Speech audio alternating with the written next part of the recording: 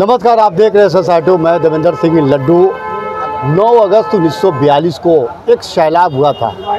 वो सैलाब था भारत छोड़ो आंदोलन का। जो अंग्रेज़ों ने जिस तरह का जो अपने देश में अत्याचार किया था तो महात्मा गांधी ने एक साहसिक कदम लेकर, क्योंकि 9 अगस्त 1942 को एक इतिहास रचने का कार्य किया गया था और उसके बाद से अंग्रेज़ को भारत छोड़ना पड़ा था।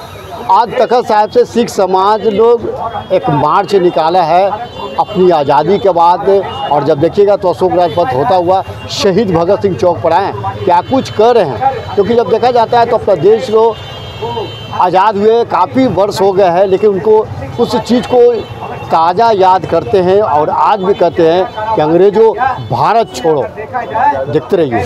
वाहिगुरु जी का खालसा वाहिगुरु जी की फतेह। आज शहीद भगत सिंह चौक पे जो हमारे पूर्वज ने शहीदी दी, उनका सारा विवरण हमारे मानयोग त्रिलोक सिंह जी सारा विवरण इतिहास बताया है और उन्हीं के साथ हम लोग तखत हरमंदिर जी पटना साहिब से शोभा यात्रा निकाल कर चौक पे क्रांति यात्रा निकाल के शहीद भगत सिंह चौक पे समाप्ति किया।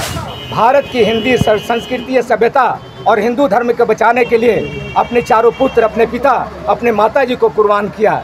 ये इतिहास है। दूसरी चीज़, अगर देखें तो हिंदुस्तान की आज़ादी के, अगर देखा जाए तो ये एक एक सौ इक्कीस जो अंग्रेज़ों ने उनको फांसी की सज़ा दी थी, तिरानवे वो सिख समाज के थे, जो काला पानी दिया गया था, जीवन कारावास 2626 उसमें इक्कीस सौ सैंतालीस सिख समाज के थे।